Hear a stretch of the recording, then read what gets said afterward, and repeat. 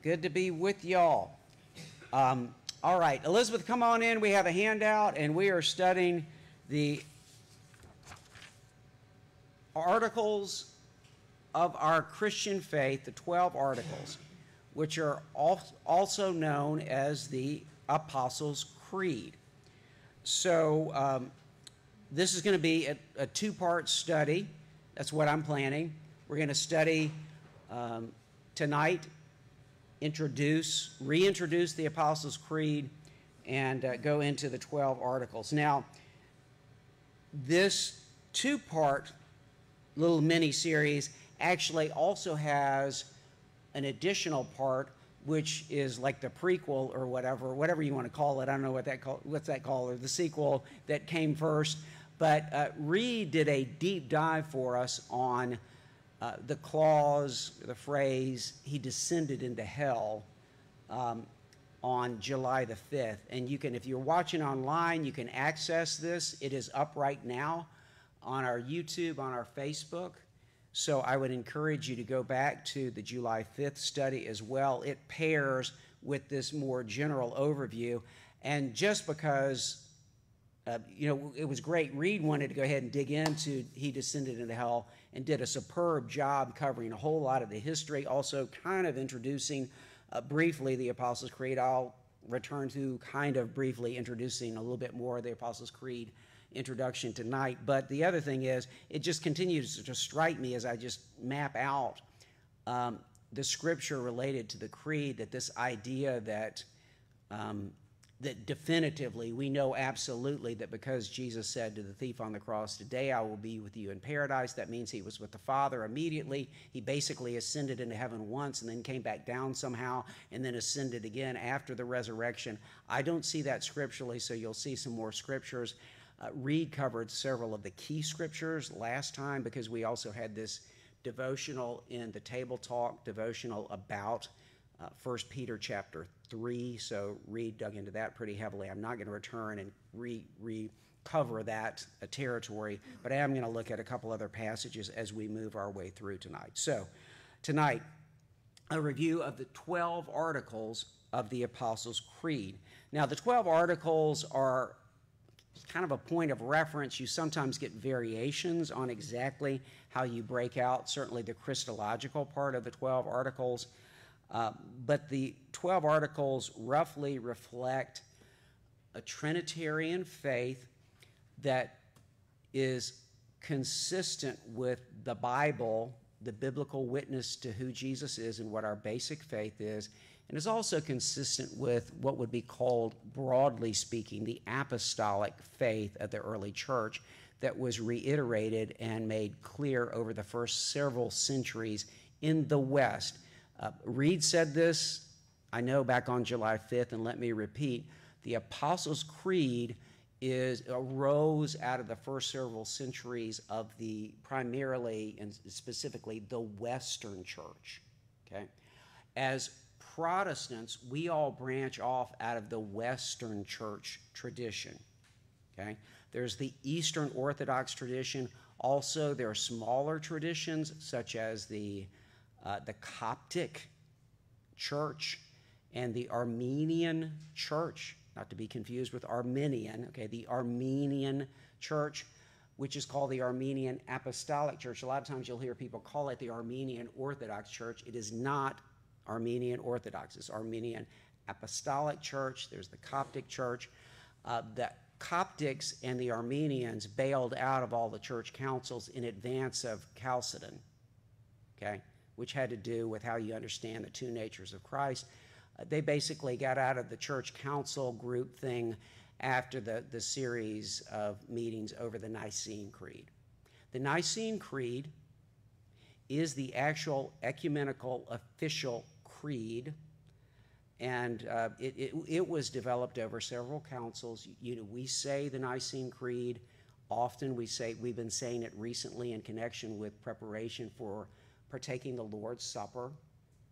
I previously had us affirming the Nicene Creed on certain special worship services, such as Christmas Eve. Okay, so uh, you're familiar with the Nicene Creed.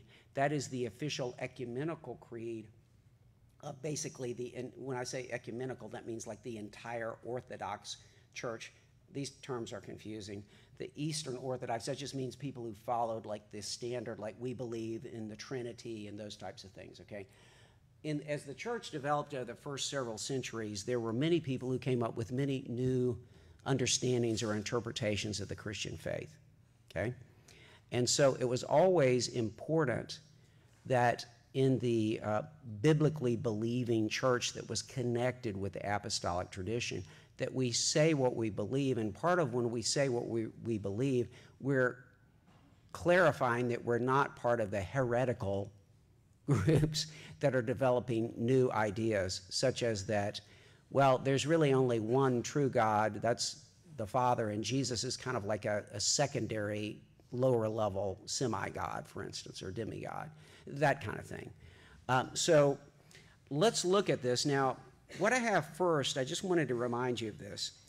In the Bible, in the Great Commission, at the close of Matthew's Gospel, Jesus gathers with his 11 apostles. Now, Matthew uses the term disciples, but Matthew tends to use disciples to mean the apostles. Okay, so Matthew tells us he's with the 11 disciples. What that means for our purposes, Luke is a lot more clear on this. You're talking about apostles, okay, the inner group.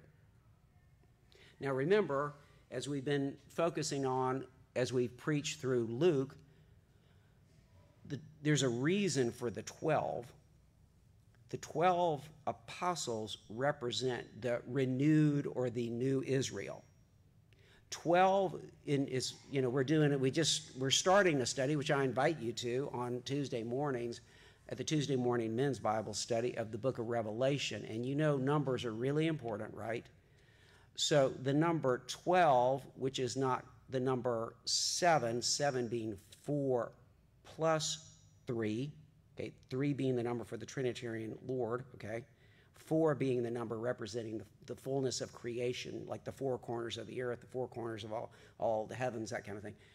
Uh, it's not four plus three, that's seven, a completeness number of the intersection of God with his creation, okay?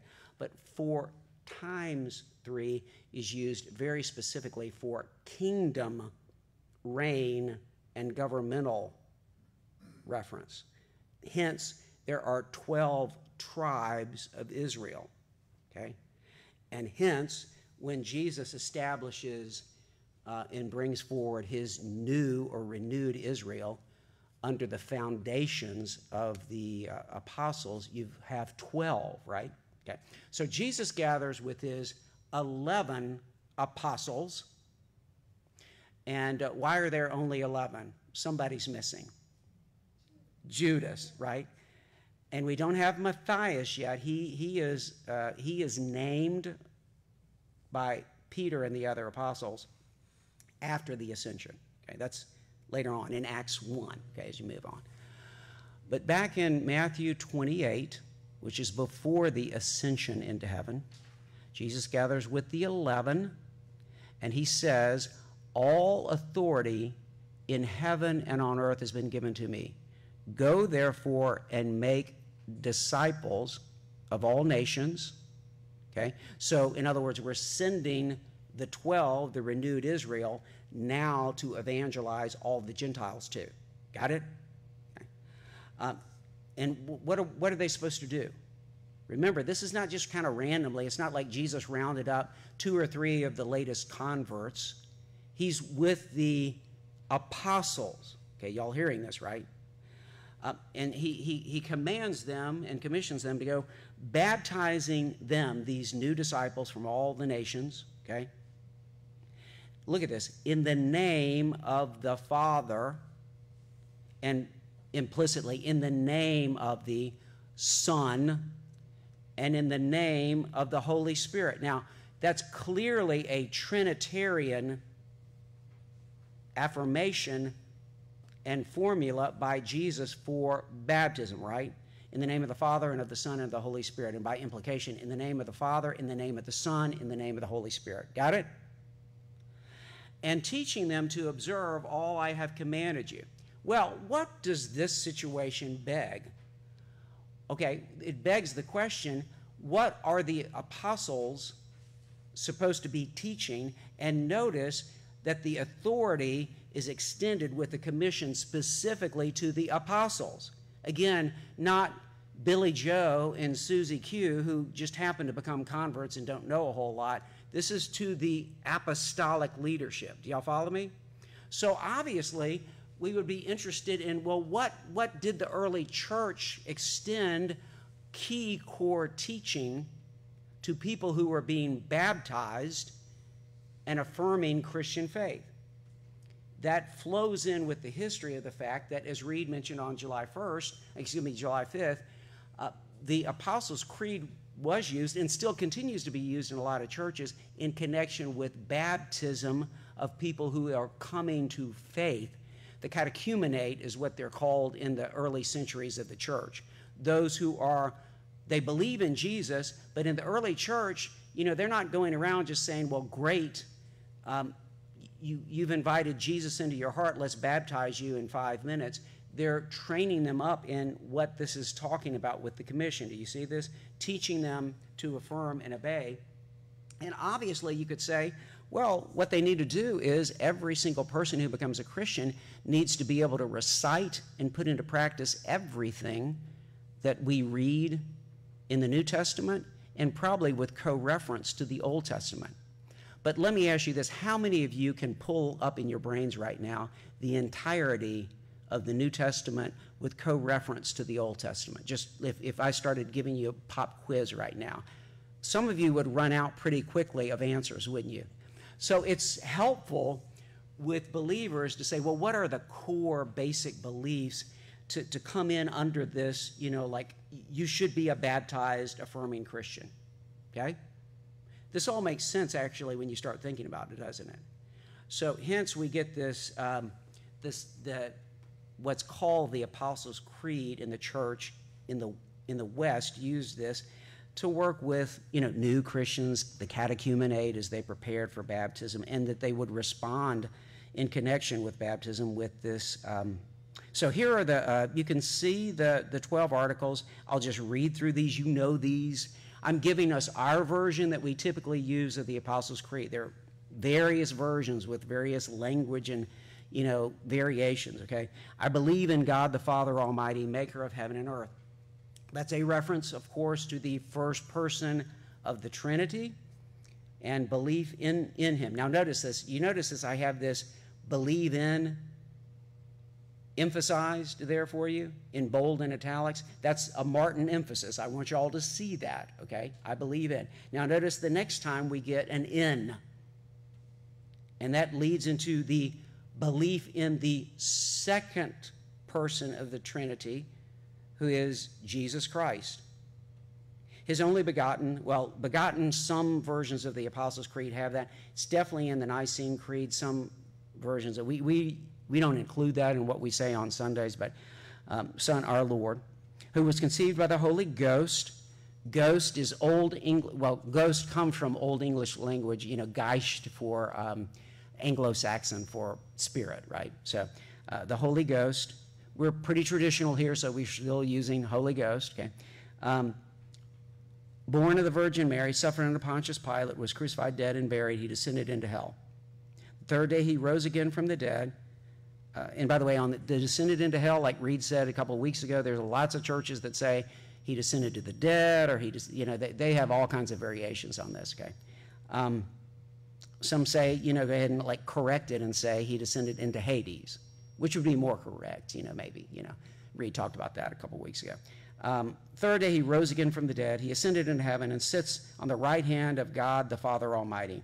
From thence he shall come to judge the living, okay, or the quick. Again, we're using the really old Anglo Saxon kind of language here the quick and the dead. And notice now we get the third in y'all see this? And it matches out with the third person of the Trinity. Because, by the way, I can believe, like for the forgiveness of sins, but I do that through believing in the work of the Holy Spirit. Okay? My faith is in God. This is central to the Nicene Creed and the Apostles' Creed. This is basic 101 faith, but it's easy to just kind of miss this. When you say the Apostles' Creed, you are saying your faith is in God, the Father, the Son, and the Holy Spirit. That's where your faith is anchored and lodged, and it is in Him, the living God. Y'all get the difference? Then, flowing from that, you may believe a lot of things that the Bible teaches you that God wants you to believe, but your belief is in God. Okay? Got it? We're supposed to understand that. We're supposed to teach that to our children. We're supposed to, when people ask us, you know, who are interested in finding out about Christianity, we're supposed to say our belief is in the Father. Our belief is in Jesus Christ the Son. Our belief is in the Holy Spirit. And then we believe certain things that flow from that belief in God. Right? Okay. All right. So I believe in the Holy Ghost, the Holy Catholic Church, the communion of saints, the forgiveness of sins, the resurrection of the body, and the life everlasting. And then we usually tag it with an Amen, which comes from it's true, I affirm this, from you know the Hebrew amun, okay, which means it's true, I, I affirm it, okay, I believe it. So um, that's the Apostles' Creed, the, the 12 articles. Y'all see the way they're broken out as 12 articles. And the tradition, which is a nice tradition, but we don't have historic credibility to this per se, is that each of the apostles, you know, added, you needed to get all 12 together, and they each had their own, you know, line that they added to the Apostles' Creed. That's a legendary type of thing, you know. Uh, but, uh, but the apostolic line or foundation from the early church is there, roughly speaking, okay? This is the historic faith of the faithful Orthodox Church in the West about a belief in God.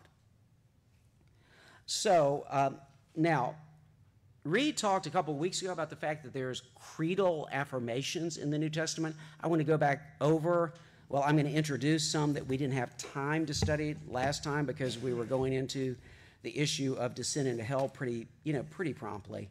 Uh, but let's just go back. This is one that we looked at, I believe, a couple weeks ago.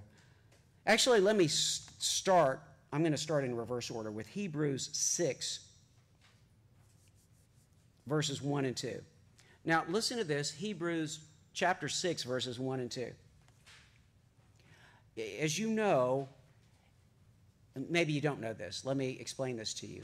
Hebrews is kind of like the advanced, one of the advanced courses in the New Testament. Okay? Um, Mark, you might use during the freshman year, so to speak. Hebrews is, you know, covering all this imagery and all this Old Testament background that you really kind of need to know so the writer of Hebrews really wants to move on to, you know, upper level study and thinks that Christians need to not keep saying, now, now wait a minute, let me get this straight. Jesus is the Son of God? Is he really God? And, you know, after five years, you're hoping that people who are coming to church and doing Bible study and professing their faith don't need to go back over that again and again, right? That's kind of the way in which the writer of Hebrews is addressing his audience, an audience that's very confused and has really gotten into angels, and they're sending, you know, cards of I'm, I'm, joking right now, but they're sending cards of angels, and they have all the, when you go to ha- eat dinner with them, they have all these, you know, angels out on their tables and stuff because they're really into angels. And the writer of the Hebrews is saying, why are you getting off into angels? We, we actually know the living Son of God. The angels are infinitely lower than the Son of God. Y'all stop being all into angels and going back to old, you know, Judaic, um, Old Testament, you know, kosher laws and stuff like that. Look, let's, let's, you, you should be advanced beyond that. Well, in the midst of saying this, look at Hebrews 6, 1 and 2. Therefore, let us leave the elementary doctrine of Christ now, that doesn't mean it's not essential and foundational, but he's like, look, come on. like, y'all actually need to mature as people who understand the Bible and understand your faith. So he says, therefore, let us leave the elementary doctrine of Christ and go on to maturity, not laying again a foundation of repentance from dead works. Paul talks about that a lot. You know, it's like, look, Paul's already covered this ground. I don't need to go. You know, read Paul, and you need to learn it, and you need to move on. Come on, let's go. Uh, not laying, again, a foundation of repentance from dead works and of faith toward God, okay? And of instruction about washings. Is probably reference to sacramental baptismal and sanctific- basic sanctification and salvation. The laying on of hands, in other words, ordination and sending and calling. And, and, and laying on of hands, the resurrection of the dead, and eternal judgment. Now, you'll see that he's just covered a lot that's in the Apostles' Creed, right? So let me ask you this based on what the writer of the Hebrews is saying, do we just stop with the Apostles' Creed and that's kind of all we need to know?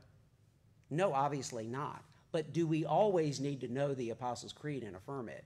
You know, do we always need to affirm the types of things that uh, he's talking about? Repentance from dead works and, you know, um, the laying on of hands, the resurrection, uh, the judgment that Jesus will come again to judge the living and the dead. Obviously, we need to know that, right? But he's ready to move on with his people. So that's Hebrews, but you just see that little echo of creedal affirmation going on there. Y'all see that, right? Okay. All right, now let's go back to some creedal affirmations in um, the New Testament. So actually, I just opened it up to this, so I'm just going to go to this Romans 1. This is uh, Paul, and he introduces himself as a bond slave or slave or servant of Jesus Christ, of Christ Jesus, called to be an apostle. And then he says, in the middle of uh, the second half of verse 1 of Romans 1, set apart for the gospel of God. What's he going to lead into with the gospel of God? Now, I want y'all to see this. This is very creedal, what he gives us at the beginning of Romans, which he promised beforehand through his prophets and the Holy Scriptures. Now, really, now we're really getting into it concerning his son, who was descended from David according to the flesh. Y'all see that, right? That's a creedal type statement, hooking together all kinds of scripture from the Old Testament. And was declared to be the Son of God in power according to the Spirit of holiness by his resurrection from the dead, Jesus Christ our Lord. So we've got a reference there to God, to Jesus, the Son of God, and to the Holy Spirit. And when Paul, oftentimes when Paul says God, he means, and Carl, we talked about this on in Revelation on uh, Tuesday morning, yesterday morning a lot of times in the New Testament, when you hit just a, a, a, generalized God, you're talking about God the Father. Now, Jesus is also God, the Holy Spirit's also God, but a lot of times when you get God, Jesus, his Son, what does that tell you? You just, you just had a reference to God the Father, right? Jesus, his Son, and the Holy Spirit. You've got a Trinitarian creedal type of affirmation there that Paul opens with in Romans chapter 1. Now, let's also go in Romans, because he kind of picks this back up very much later. In Romans chapter 8, um, just, just one little snippet here. Verse 34. Who is to condemn? Now, he's in rhetoric right now when he asks that question, but now then get this little creedal snippet here. Christ Jesus is the one who died more than that, who was raised, who is at the right hand of God, who indeed is interceding for us. That's a creedal affirmation. Do y'all see that there? In response to the rhetorical question, he's coming back with a snippet of an early Christian. This is like Paul is early, you know, the first decades of the Christian church. Okay? And you see these creedal affirmations that pop up in Paul. Um, that, that, are, that are quite strong. Uh, now, as long as I'm in Romans, let me just go on over to uh, Romans 10. Romans 10, verse 9 and 10. Because if you confess with your mouth that Jesus is Lord, the earliest creedal affirmations of the Christian church, which are baked into all, you know, that proliferate throughout the New Testament, are, are these Jesus is Lord and Jesus Christ is Lord. Those are creedal affirmations. In fact, to say the, the, the word and the title together, Jesus Christ, is a creedal affirmation. You are saying that Jesus is the anointed, the Messiah of God. Y'all follow me? Do y'all have questions about that? If you say Jesus with Christ, and you're saying it in a reverent, faith-based way, you are making a creedal affirmation, and it is the, it's central. And when you say this is a salvific kind of creedal affirmation, that Jesus the Christ, the Messiah, is Lord, so you've just said, I believe in Jesus Christ as God. You've just made a salvific creedal affirmation. Y'all with me on that? And that runs all through the New Testament. Okay, so anyway, just look at this. So um, back to this. If you confess with your mouth that Jesus is Lord, now you see why Paul's making such a big deal of this, right? In the Greek version of the Old Testament, or the Greek versions of the Old Testament, the Septuagint, the term kurios, which can just mean like high level sir or nobility, like the House of Lords in, you know, England or something like that.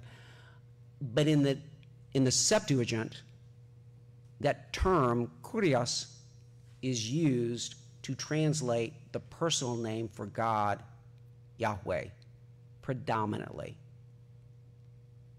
So when you get to the Greek New Testament, understanding that in the old Greek Old Testament, kurios is used in place of, you know, Yahweh and Adonai, and you start saying that Jesus is Lord, you are affirming his divinity. You're also affirming something else, too. In the Roman Empire, um, you were supposed to say in allegiance that Caesar was Lord because he was the boss of the world. Okay? So when the Romans said that, they said he's boss of the world. And the Romans also thought from Julius Caesar to Caesar Augustus onward, they thought their Caesars were divine or on their way to becoming gods by the time they die. So the Christians are like, no, no, no. I don't believe that Tiberius is Lord. I believe that Jesus, the anointed of God, is Lord. That's what the Christians are saying. That's a creedal affirmation. So Paul, Paul's picking up on all that here. Um, Jesus is Lord, and believe in your heart that God raised him from the dead, you will be saved. For with the heart one believes and is justified, and with the mouth one confesses and is saved. So Paul just told you that salvation and justification by faith it's central and obvious that you're going to be making creedal affirmations. So let me just tell you, when you run into people who say, I don't believe in any of that creed stuff, you say, okay, you want to excise most of the New Testament out of the New Testament? Because it doesn't make sense. You, have got it baked in and developing in the New Testament. Y'all see this, right? Y'all, everybody see this? Anybody confused on this? It's all, it's, okay, it's, it's in here. Now, let's go over to a, um, some even more obvious ones. Okay, I just turned over to Colossians, so we'll go to Colossians next. Colossians chapter 1, verses 15, and I'm going to read through, I think, verse 22, 23. I believe Reed hit this last time in our brief introduction. I can't remember, but anyway, we're just going to do it again. Who is Jesus? Well, Colossians chapter 1, picking up at verse 15. He is the image of the invisible God, the firstborn of or over all creation. For by him all things were created in heaven and on earth, visible and invisible, whether thrones or dominions or rulers or authorities, all things were created through him and for him. And he is before all things, and in him all things hold together.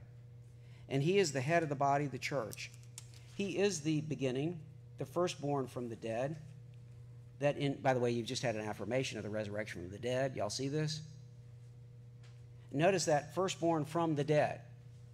Well, wait a minute. If he never went to the dead, how's he the firstborn from the dead?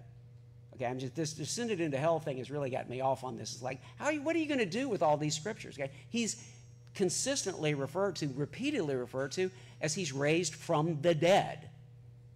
Okay, anyway, uh, firstborn from the dead, that in everything he might be preeminent. For in him, look at this, all, not a minor sliver, a minor introduction, all the fullness, the pleroma of God was pleased to dwell, and through him to reconcile to himself all things, whether on earth or in heaven, making peace by the blood of his cross. Now, look at this because Paul, Paul and the other New Testament writers do this quite a bit. This does not mean you can lose your salvation if you're truly saved, but it does mean if you're saved, you want to hold fast to the faith. And if you're truly saved, you will hold fast to the faith. These, these little tags get in, in before these creedal statements or after them a lot. And you, who once were alienated and hostile in mind, doing evil deeds, he is now reconciled in his body of flesh by his death. That's how we're saved, through his death, okay? In order to present you holy and blameless and above reproach before him, if indeed, this is the verse, the final verse on this, verse 23, if indeed you continue in the faith, stable and steadfast, not shifting from the hope of the gospel that you have heard, which has been proclaimed in all creation under heaven, and of which I, Paul, became a minister. He's saying these creedal affirmations and the basic affirmations I have taught you and that are infused for us all through the New Testament, you better not, you better not, you know, tail off on them. You better hold fast to them well, I'm kind of I'm kind of having a new exploration about who Jesus is, or maybe maybe it really is true that this is a big issue in the you know early centuries with Docetism, Gnosticism, and various mystical understandings. Um, you know, God. Um, God is very spiritual. God didn't create this fallen world. That's kind of a lower God, or that came about through something else, you know. And it's like, no, no, no. God created the heavens and the earth. He created everything. And you got this from Colossians, right? All things visible and invisible. Do y'all see that? That is in response to issues that were going on in the first century, as well as certainly later it speaks to issues in the second, third centuries as well. I mean, heresies and other religions that say, yeah, we like Jesus, but we have, you know, it's kind of like Hinduism likes Jesus. You bring him into Hinduism. Uh, Muhammad acknowledges Jesus as a prophet. You bring him into sideways over here. You know, it's like, no, no, no, no. He's either everything or he's nothing at all. And he's the creator of all things, visible and invisible. There's not different spheres of, you know, God's involved in some spheres but not others. Y'all see that? And that goes back into your first um, article of the Apostles' Creed um, it's reflected in that. And you notice this now. I believe in God the Father Almighty, maker of what? Heaven and earth. Okay? It's a big issue with, you know, Nicaea, etc. Okay. Uh, so you see this. Well, let's let's keep going. Let me give you a few more of these. Uh, this is just it's it's it's really good for you to see these. Uh, let's go to Titus. Titus 3.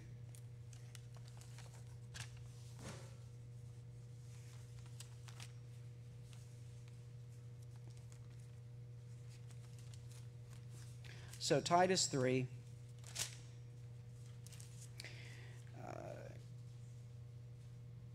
3, pick up at verse 3 and go through, really 7. Um, but I'll, I'll tag the verse 8 too.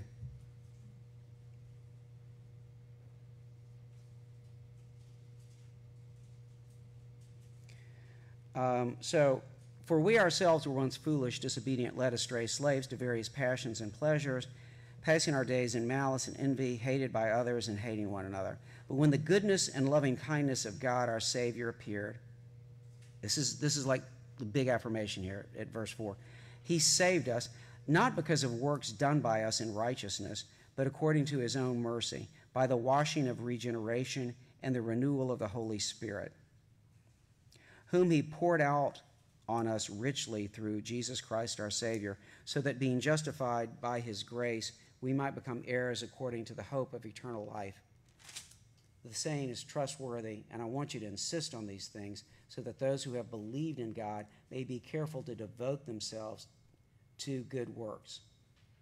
These things are excellent and profitable for people. So, in other words, if you actually believe the, these affirmations, you're going to live a life of faithfulness, doing good works, understanding you're not saved by good works, but because of who God is, you'll live a life of faithfulness and do good works and hold fast to the faith. That's the idea that you just get over and over again in the New Testament. Um, okay, let's see. I know I wanted, yeah, 1 Timothy 3.16. This one's really quite simple and beautiful.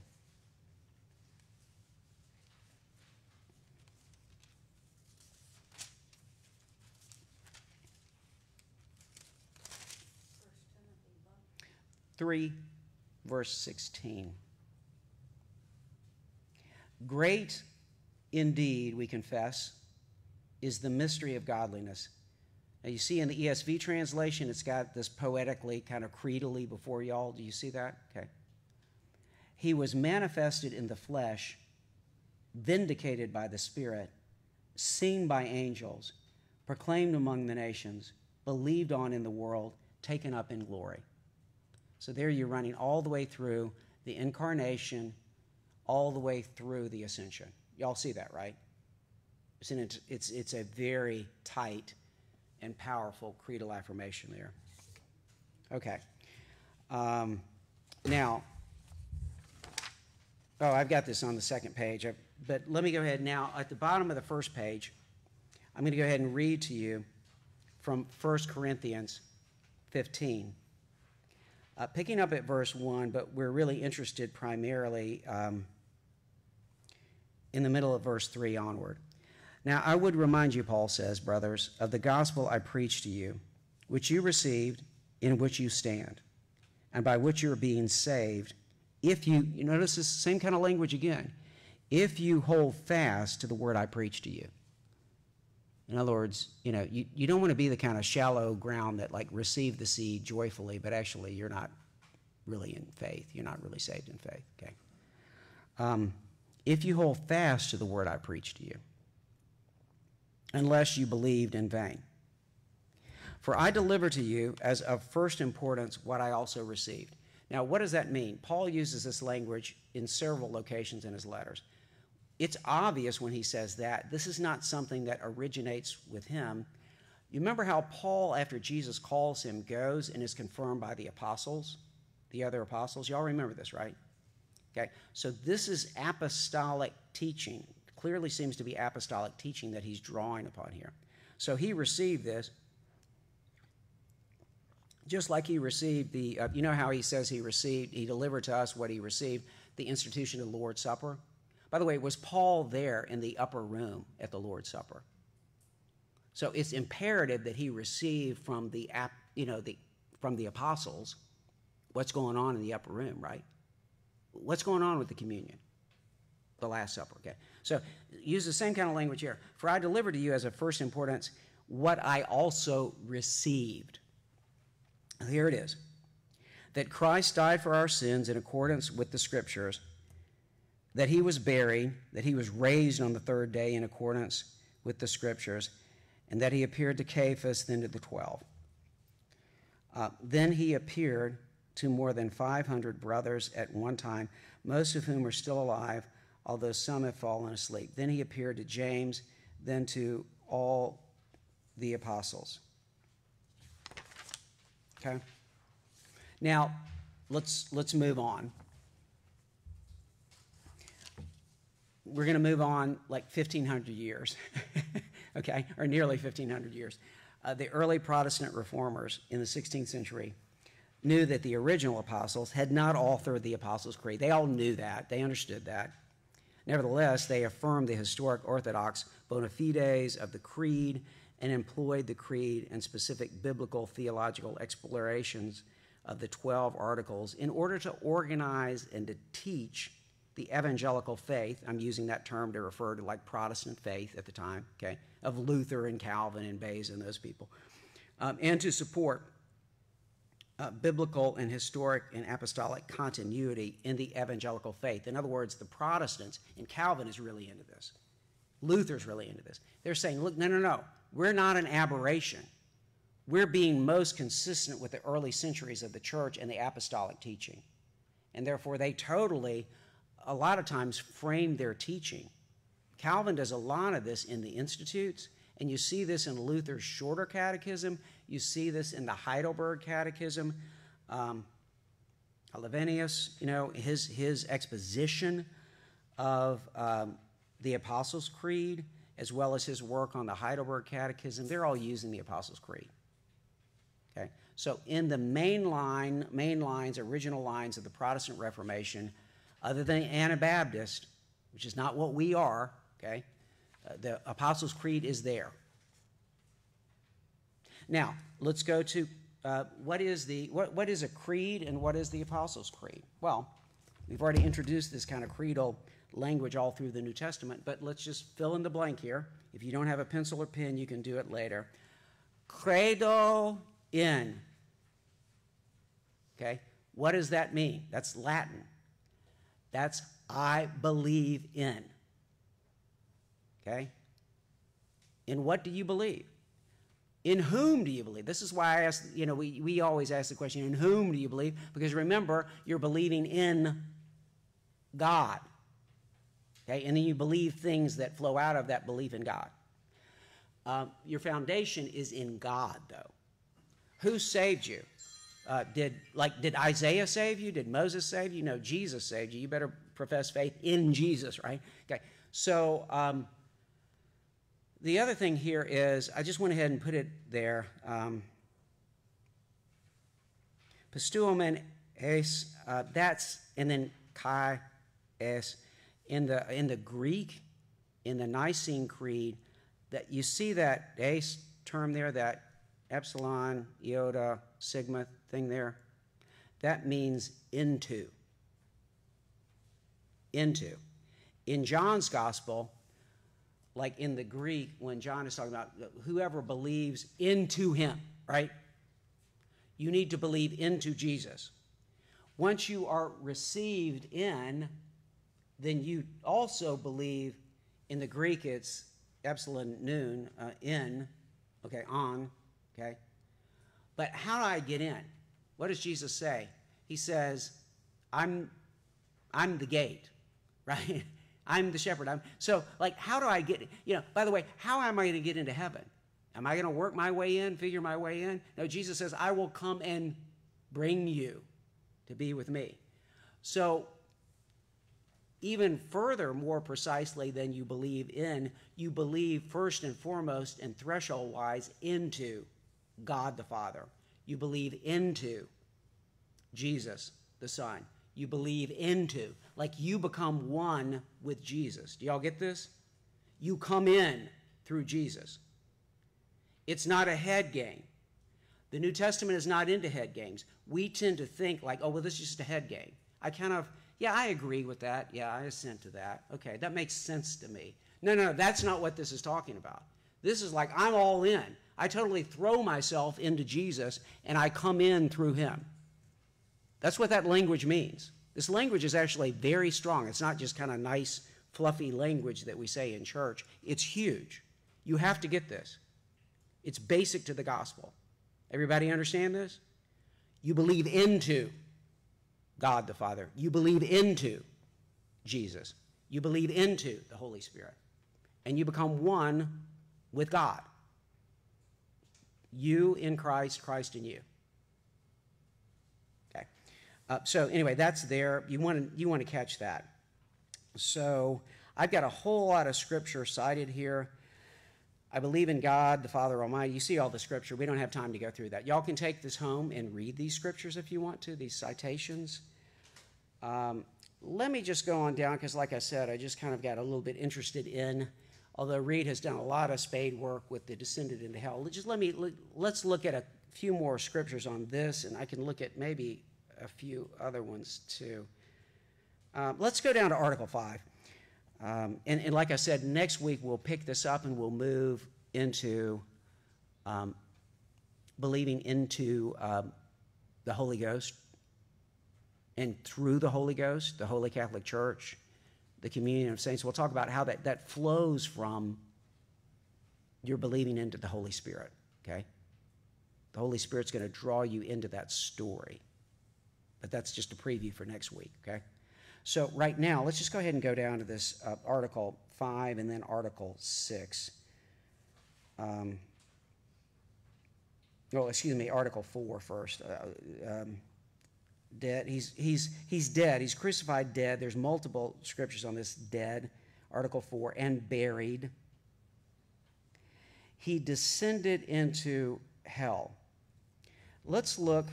These are ones that we did not cover last week, so I'm going to throw in a few more, or a couple weeks ago. Let's just get some more of these points of reference. Acts chapter 2. Acts chapter 2, verse 24.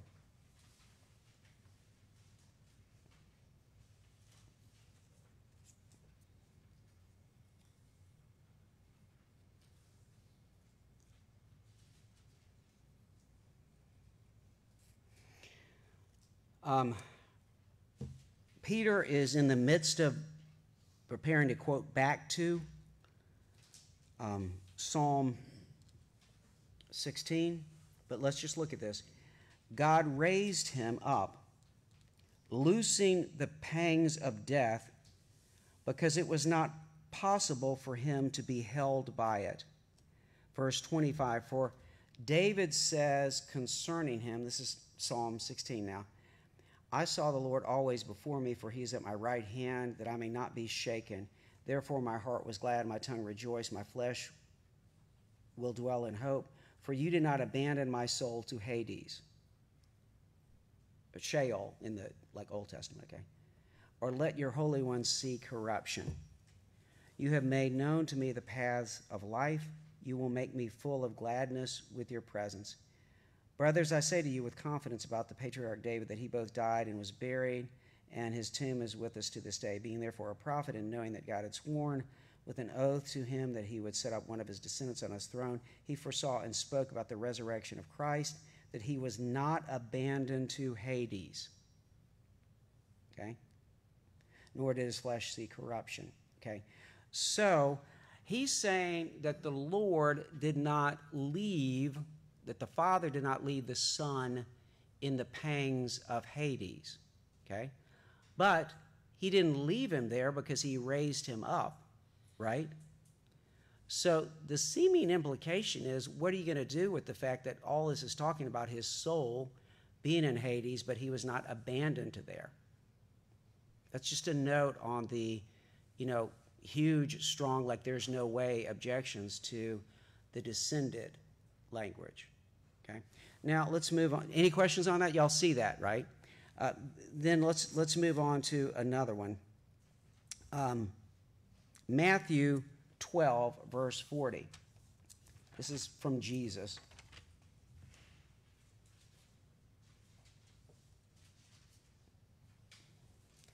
For just as Jonah, this is Jesus talking now. For just as Jonah was three days and three nights in the belly of the great fish, so will the Son of Man be three days and three nights in the heart of the earth.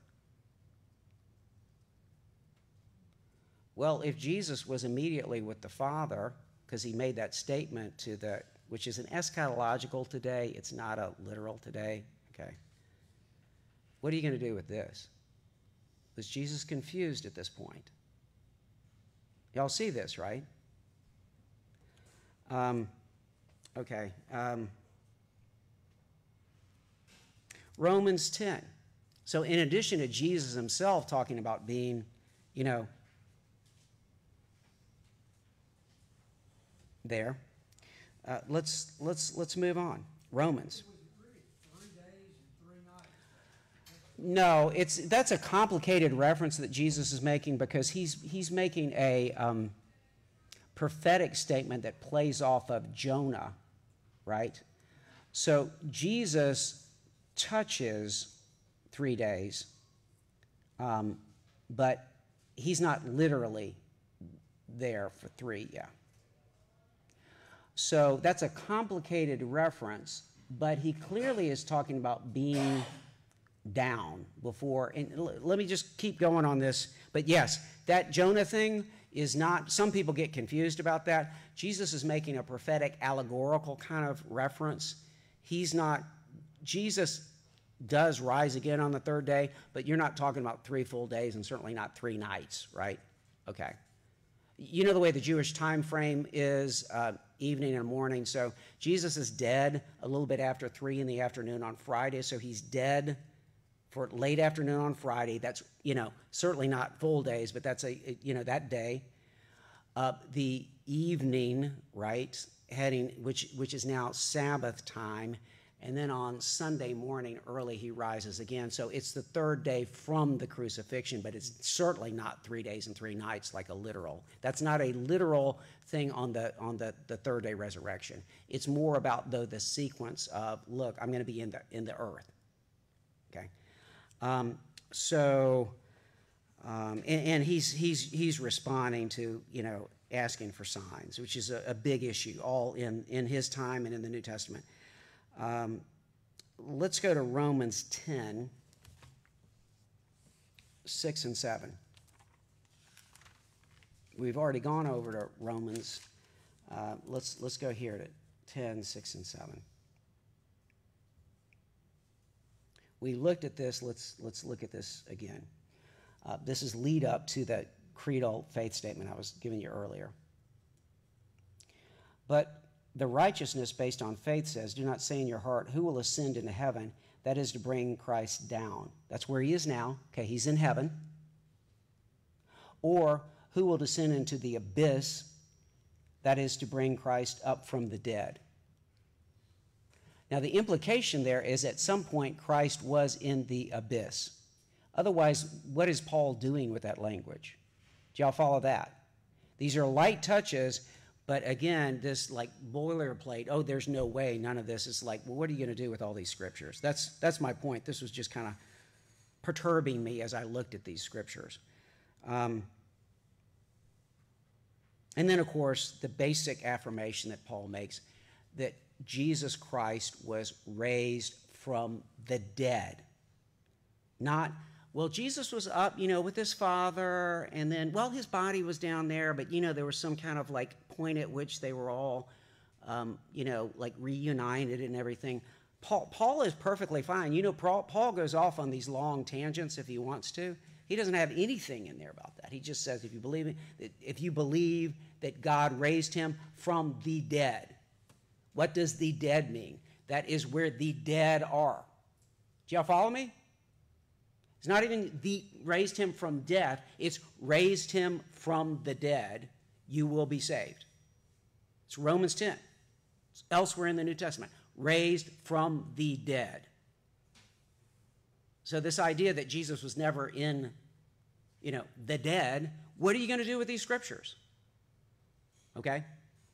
This is not, it's just like, so Y'all see this, right? I mean, so I, I think it's okay for us to say in the Apostles' Creed, he descended. Um, all right. Now, let's see. Uh, third day, he rose again from the dead. Kind of back to your question here, Larry. Yeah, it's the, the way the sequence works. It's the third day. And that is, that's what actually happens historically. That's the way it works. Jesus dies on Friday afternoon.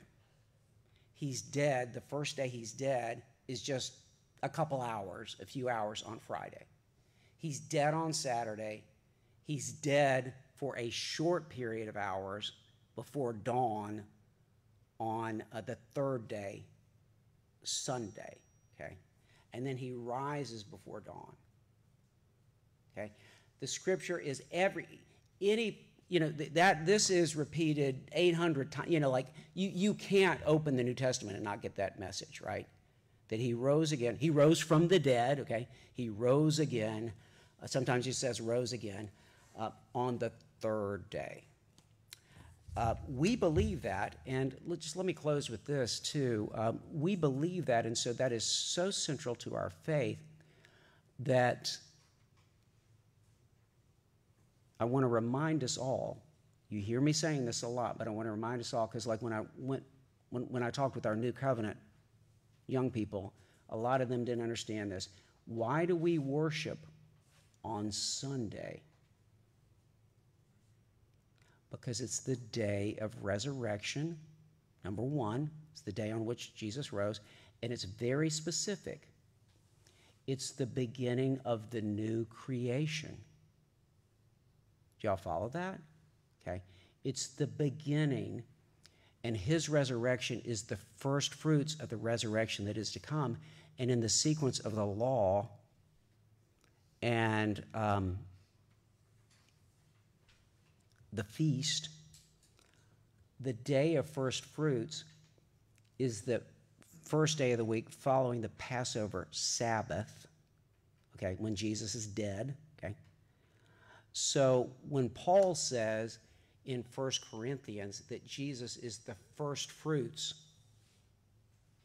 showing us what our resurrection is going to be like, this is when they walked in with the beginning of the harvest, the first fruits of the harvest, and dedicated those, waved those before the Lord God.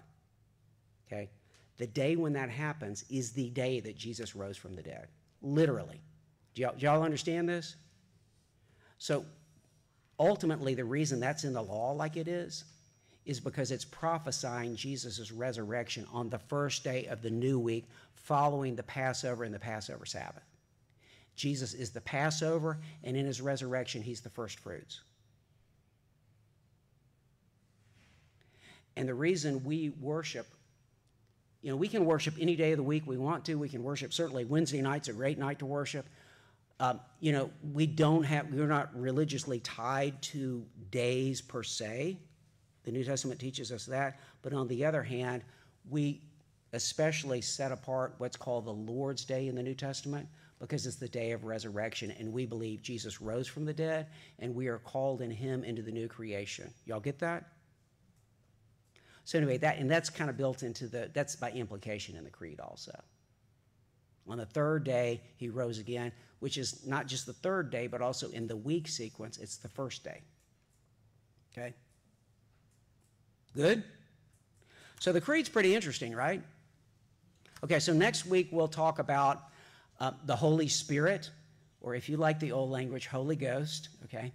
And um, how, how we are brought together as God's people, and all this is applied to us uh, by the Holy Spirit. Good? All right, let's pray.